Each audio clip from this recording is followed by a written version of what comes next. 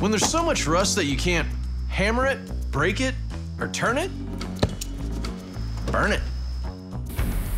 Nothing like the smell of sizzling paint. A lot of people have the illusion that when you heat up a bolt, you should try and get it out when it's hot. But just like anything, it swells when it's hot and it shrinks when it cools. Hold that for a second.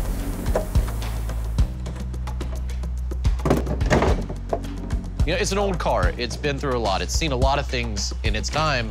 As it's coming apart, we're finding all sorts of surprises. It's always a uh, good sign when, uh, prior to upholstering this the last time, they realized that the inner wheel well wasn't attached to the quarter, so they went ahead and fixed it with like a roll of duct tape.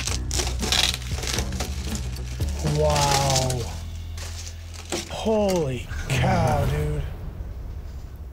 Well, I gotta truly and honestly apologize. I trust that you did not know that that was there.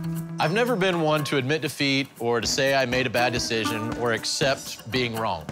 So I'm not wrong, I didn't make a bad decision, and I'm not accepting defeat. Hopefully when we put up on the lift, it doesn't just fold in half.